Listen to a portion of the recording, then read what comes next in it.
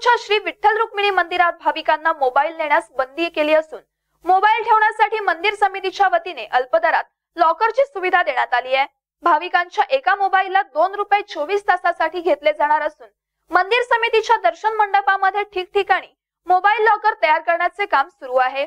सध्या अडीच हजार मोबाईल लॉकर बनवण्यात आले असून त्यापैकी सहाशे पन्नास मोबाईल लॉकरचे उद्घाटन मंदिर समिती महिला सदस्य ऍडव्होकेट माधवी निगडे आणि शकुंतला निडगिरे यांच्या हस्ते करण्यात आले आहे. भाविकांच्या सोयीसाठी अल्पदरात मोबाईल सुविधा मंदिर समितीने उपलब्ध करून दिली आहे. या सगळ्याला भाविकांनी सुद्धा उत्स्फूर्त प्रतिसाद दिल्याचे पाहायला मिळते.